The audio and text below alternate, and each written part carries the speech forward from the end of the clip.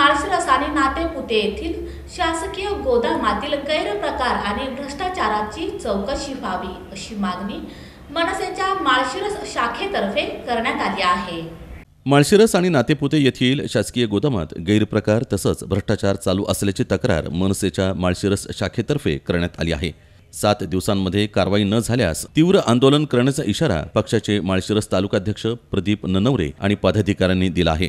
पक्षाच्या शिष्टमंडळातर्फे याबाबतचं निवेदन निवासी उपजिल्हाधिकारी क्षमा पवार यांच्याकडे देण्यात आलं ज्यावेळी पक्षाचे नेते पदाधिकारी कार्यकर्ते आणि ग्रामस्थ उपस्थित होते.